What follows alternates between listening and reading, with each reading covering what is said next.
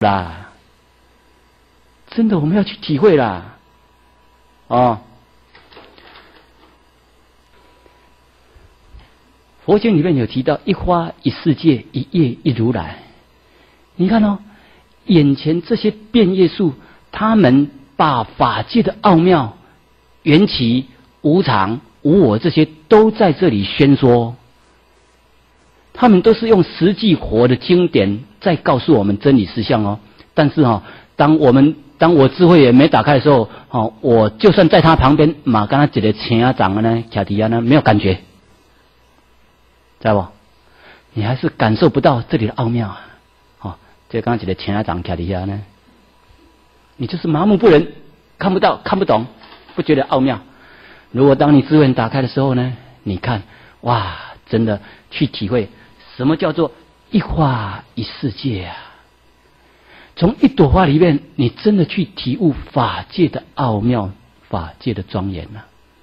这个向日葵也是在告诉我们。元气甚深呐，哦，充满了生命啊！它不是死的，一加一等于二啊，不是这样啊！啊，那你看，一花一世界，一叶一如来啊！从一片树叶里面去看到法界的奥妙与庄严呐！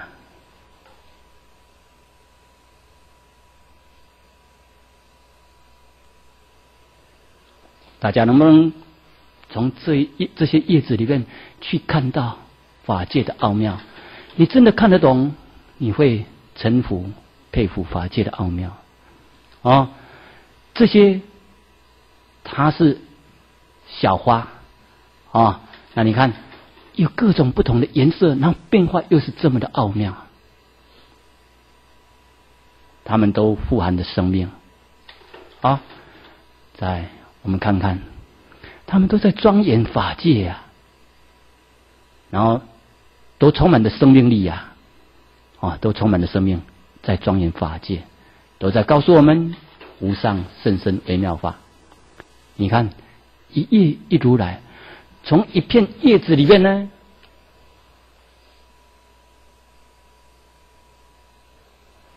哦，从一片叶子里面一样去看到法界的奥妙啊。这个是一种彩色的月桃月桃叶啊，月桃啊，啊，那个月桃，那你看它变化竟然是这么的奥妙啊！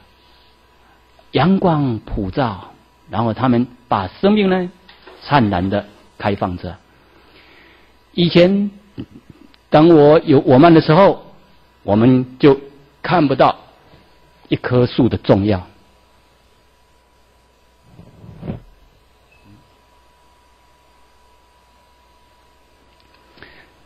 人类从本位主义出发，就觉得这些植物没什么啊，这一棵树没什么啊，呃啊，我们吃它们、砍它们，好像觉得它没生命啊，它没什么啊，啊，吃动物，那就动物这样罪过就很大，那个动物有生命吗？啊，植物没有生命啊。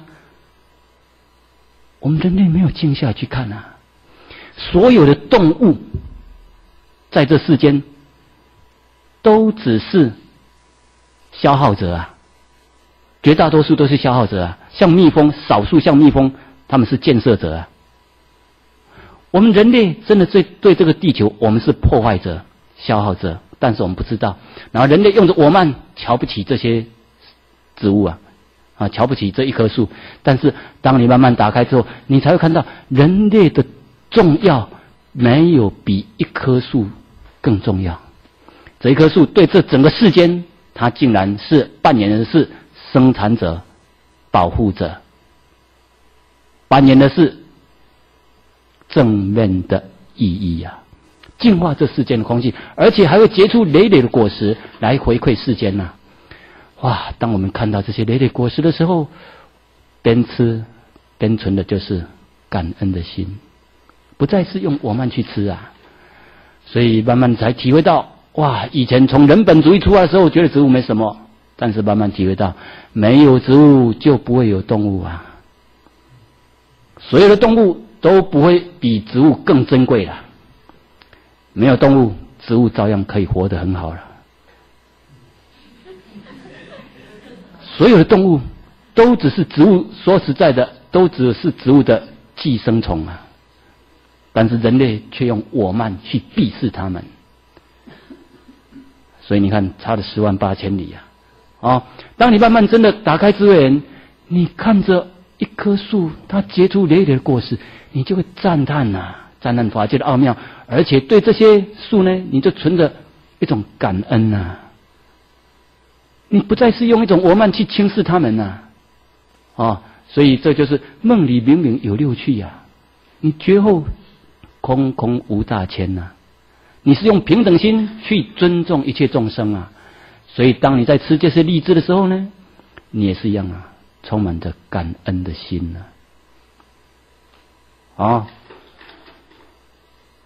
以前你看不到这些树木的重要，当你慢慢了解树木，他们对这世间的贡献远比人类多很多啊。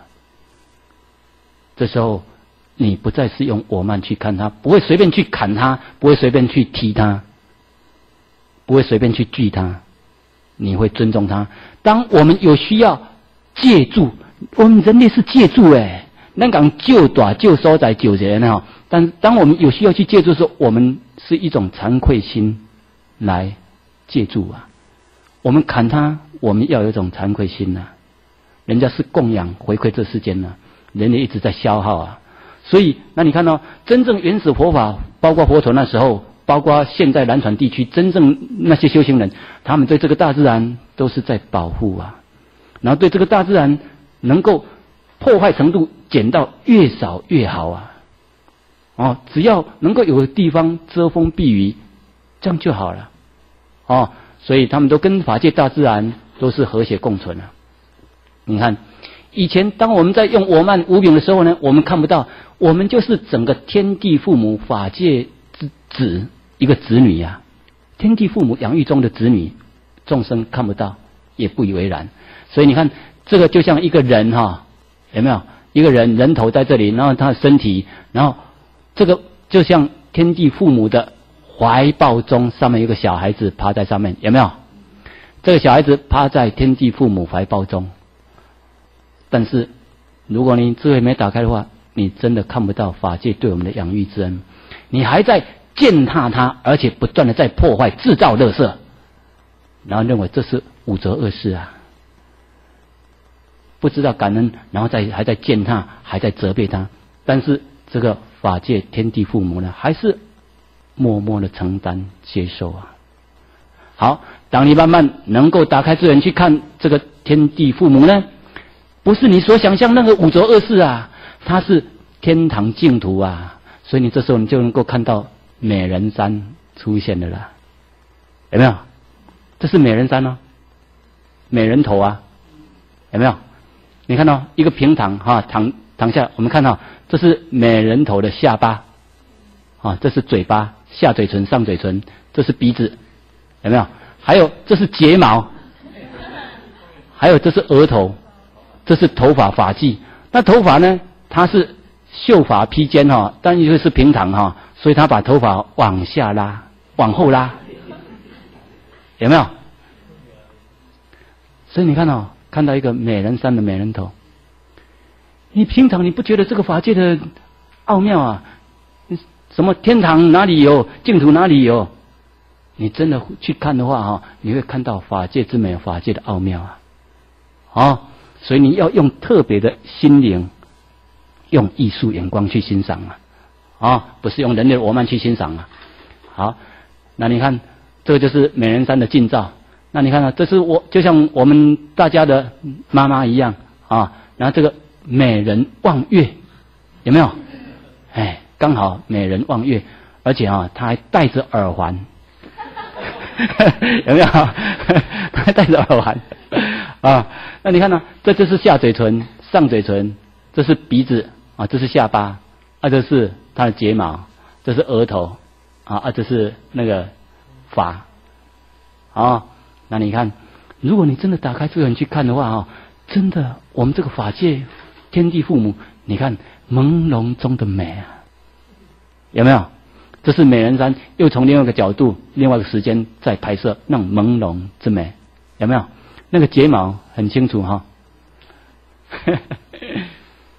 哦，所以我们看看法界的奥妙啊！啊在你看呢，人类啊，常常用着我慢，然后一直啃食这个大地，然后制造很多的垃圾，而且又一直污染这个世间。你看呐，这一天本来都是晴空万里呀，天气都是很晴朗，而且都真的没有云哦，但是。下午我出去拍照的时候，竟然你在市区里面一样都没有都没有一点云哦。但是怎么奇怪，市区里面怎么会有一种蒙蒙的那种天空，看起来不是很清爽这样？结果我跑到中和红炉地哈，红炉地很高很高的地方去看，哇，才看到原来这些全部都是人类排放废弃物的造成的尘沙。你看呐。这个都不是云哦，都是人类。你看哦，汽车啦、工厂啦排放出来这些废弃物啊，把我们这个空气污染的这么严重啊！人类一直的，这是比较高，一直在高速奔跑、高速追逐个人的欲望，然后啃食大自然资源，然后制造很多的垃圾。想想看，我们对这个大自然到底扮演是什么样的角色啊？那你看，就是那一天，后来我又回到这个，又是把它拉近，用长镜头把它拉近看市区里面。你看呐，真的就是烟雾朦胧哎，烟雾朦胧啊，哦，所以人类把这个世间搞得乌烟瘴气，然后还责怪他这是五浊恶世，这个不好，不知道珍惜，然后破坏他，又在责怪他啊。好，后面这里有一段叙述，就好像。呃，这里我用一种叙述式的方式哈，我就像天空一朵白云，这个我未必是这个人呢哈，不是固定一个人的哈，就是说一类似一种诗歌那一种啊一个叙述这样哈，我就像在法界中的一朵白云啊，在法界天地中遨游翱翔，好，有一天因缘具足的时候。我从空而降，来到人间，有没有？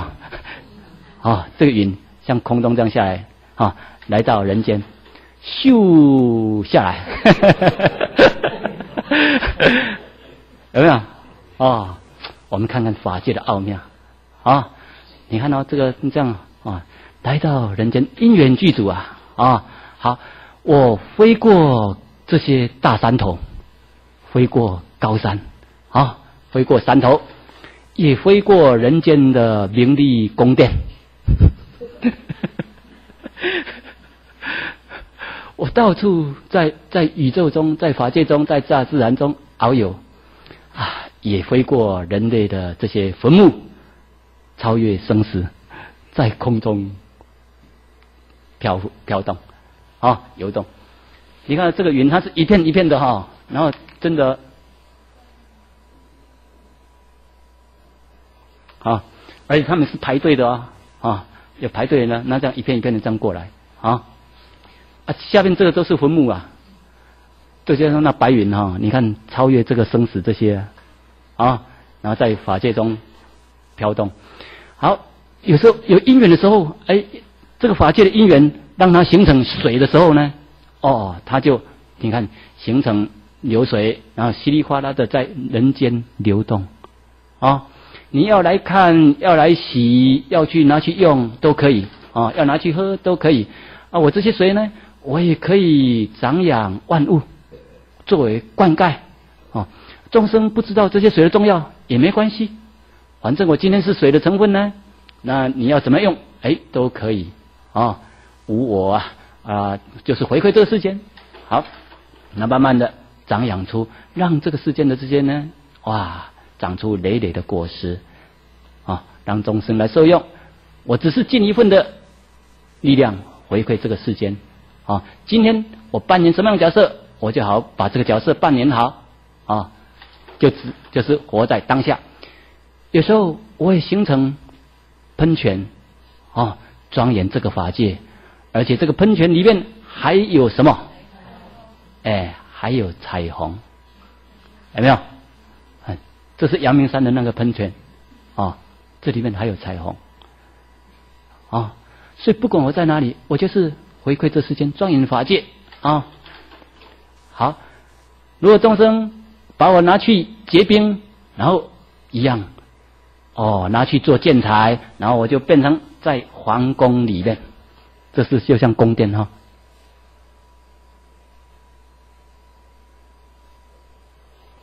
这个是冰雕世界，这里面全部都是冰哦，全部都是用冰所所建构出来的啊。这个就像说，它转换成另外一种材料，好啊，没关系啊，众生有需要，我就变成当下的这种因缘来庄严法界啊，一样啊。你看，庄严法界啊，啊，把当下的生命意义发挥出来，不管我在哪里，不管我在哪一道，一样。都发挥生命意义出来，真正的超越六道轮回就是这样的意思，这样知道吗？不管你因缘形成什么样的角色，哦，你就是好好把你的生命意义发挥出来，啊，回馈这世间。好，众生哈，把我这样哎穿什么雕凿雕雕塑成一尊活菩萨，然后在那里拜，在那里拜，这个不是我的意思啊。但是我走到众生的边那雕啊，被雕，这是众生在雕的啊，不是我，不是我这个兵自己要雕啊。那众生雕好之后，结果他们在那磕磕拜啊，啊拜掉一拿他的愿望有达成的时候，也感觉中有感应哦，啊就搞到这钱来呢。这地方有求必应啊，心诚则灵，你让我落钱的都灵。啊那结果有的拜啊无灵啊，啊无灵啊就把它拿去呢砍掉啊。哦，你看众生就这样啊，爱之欲其生啊，觉得对自己有好处的时候，爱之欲其生；觉得对自己不符合己意、没益处的时候，恶之欲其死。哦，但是事实上，这个这些兵要雕塑成菩萨，这是众生在雕的，啊，不是那些兵本身他们要这样啊。哦，然后众生看不到自己的欲求，然后再怪啊。好，当有因缘，哎。我又形成水回馈这世间，有时候我又形成白云回到天上，哦，这样反正我是随顺着法界的因缘变化变化啊。这个是呃我小时候出生的家乡啊，我在这个地方长大，到国中到高中的时候才离开这个地方，哎，嘉义大林的乡下。哎，距离现在大连慈济医院在一公里多，啊啊，这是我们这是个很典型的农庄啊，农村，这不起多区哦，也不是风景区啊，就是典型的一个农村。那我们就在这个刚好就在这个湖泊就在我们村庄的中间。那我们从小就在这个湖边长大，这样啊。好，那你看这个就像说，哎，我回到那种心灵的家乡。那你看哦，这就像说哈。一个人哈，我们说要回到涅盘界，回归法界，有没有？如果以基督教来来讲的话，他们是要找到上帝；以道家来讲的话，他们是要找到道，得道。就算以一贯道来讲的话，一样要回到什么老母的世界那边，有没有？事实上，这些都是在告诉大家说，我们回来到涅盘界，回归到了悟生死大事，回归到我们的心灵家乡，这样。啊啊！所以用这个家乡来代表，就是说，哎，当我们回到了涅盘界，就像说找到了上帝，回到了法界之后呢，哇，我们那种快乐啊，我们就像嗯，有没有这样大鹏展翅这样哦，翱翔万里呀？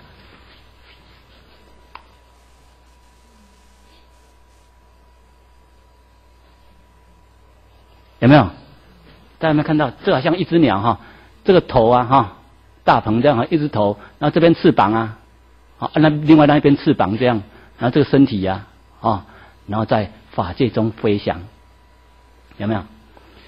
啊，这就是当你一个人哈，你了悟生死大事，你能够回到，也就是说涅盘界的家之后呢，你大安心大自在，这时候你展现出来的那种品质情况就不一样，你整个生命意义就不一样。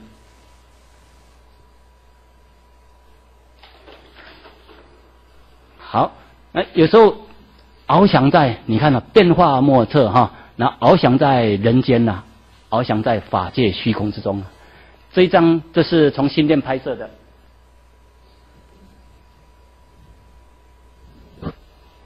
这是从新店拍摄的哈。那你看，呃，我是觉得哈，法界中的这些云哈，哇，它真的都是变化莫测呐。